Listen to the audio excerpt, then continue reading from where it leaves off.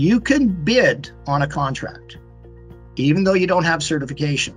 But if you win the contract, you can't start working and you certainly can't start billing until you have your certification. So if you're going to take the time and effort and investment to bid on a contract, it would be a really good idea to, in parallel, you know, go through a level one assessment at a minimum um, and uh, formally submit that uh, to CMMC, uh, even though you're a Canadian company, right? So that you could say we, you know, we met within this program.